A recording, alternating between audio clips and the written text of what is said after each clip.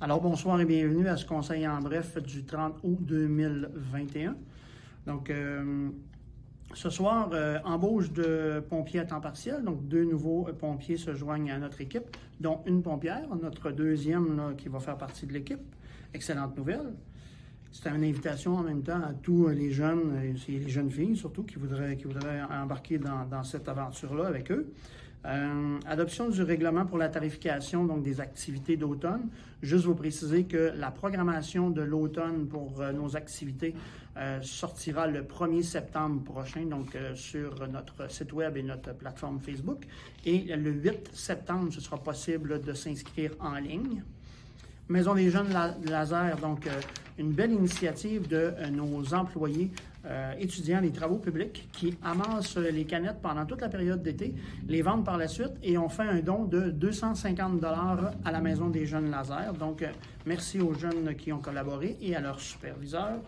Euh, Support financier à la Corporation du Jardin des Ursulines qui a tenu ses activités estivales.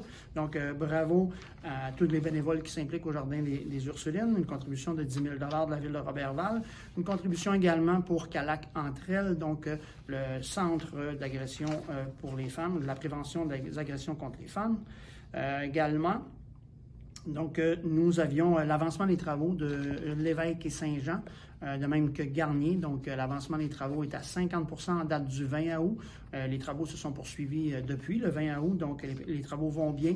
en information à la population, la fin des travaux est toujours prévue pour la fin du mois d'octobre, donc il ne devrait pas n'y avoir de prolongation sur 2022 pour les travaux majeurs. Et nous avons fait une liste innombrable de mentions de motions de félicitations à tous les organismes qui ont pris la peine de s'impliquer avec euh, l'organisation de la ville de Robertval pour euh, qu'on se soit doté d'une belle programmation estivale, euh, tout comme l'année dernière. Donc, merci à tous les bénévoles et aux organismes qui s'impliquent dans notre milieu.